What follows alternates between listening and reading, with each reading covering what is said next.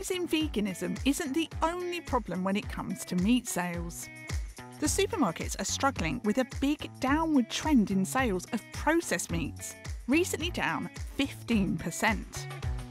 And one that's really taken a beating is fry up favourite bacon. Now, I adore bacon, love the stuff, but over the past few years, sales have been falling. We buy, per person, half the amount that we did back in the 70s and 7% less than we did in 2012. So, why are we ditching this breakfast staple? A big reason why we're eating less bacon is to do with recent headlines like these, linking it to cancer.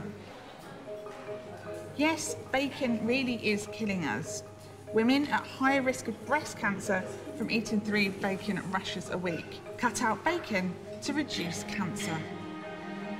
As well as concerns over breast cancer, the World Health Organization have declared eating 50 grams of bacon a day increases your risk of bowel cancer by 18%. The culprit, nitrite, a chemical compound used to preserve bacon and other cured meats such as ham and salami. Nitrites are currently used in over 60% of processed meats.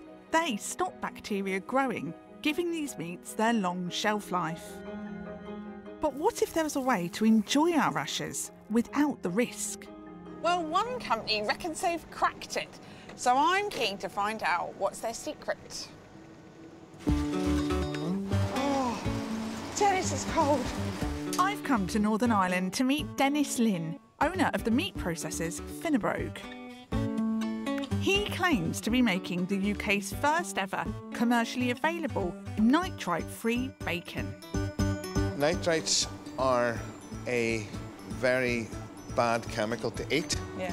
Whenever somebody said, Will you make bacon? Yeah. I went, I will make bacon, but I'm not going to make it with nitrites. Really? Because why would you do that? So, the challenge for Dennis was to come up with an alternative to nitrites that stops bacteria as efficiently.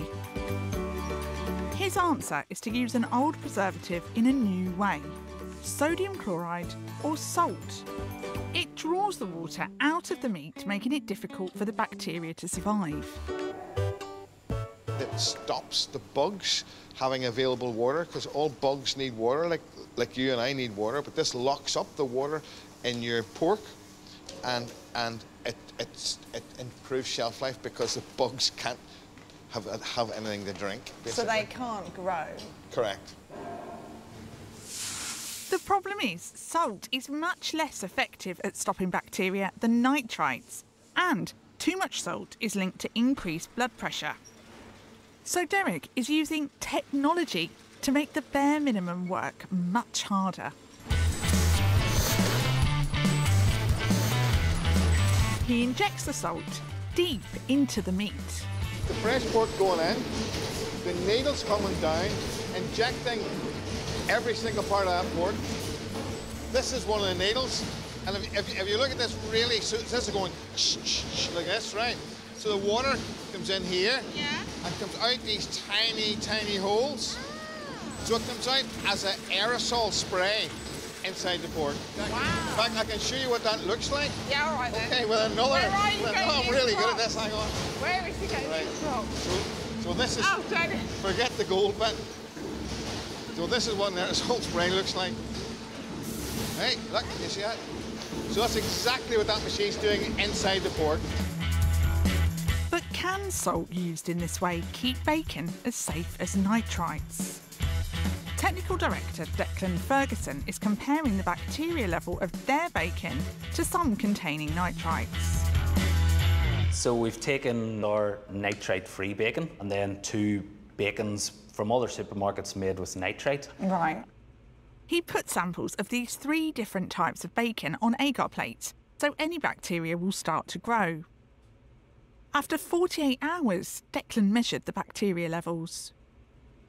And what have you found out? Each plate, although they look a little different, Yeah. uh, they're all around 30,000 bacteria. And 30,000 isn't bad for you. No, 30,000's quite good. It sounds like a lot, but actually, this level of bacteria is instantly killed by cooking, so it's quite safe.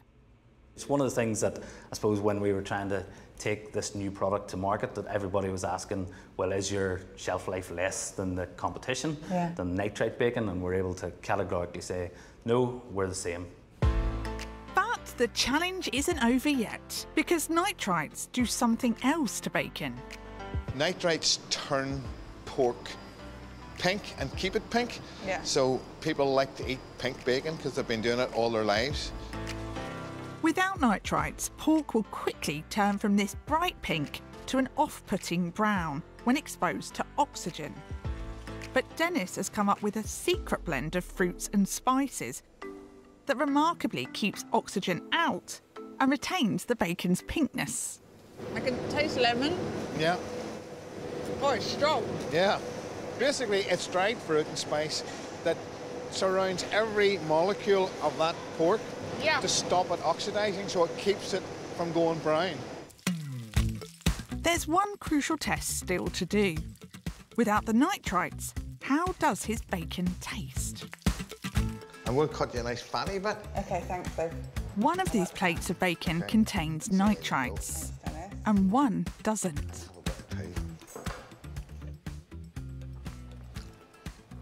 And we'll go back to I'm gonna feed me then a little train.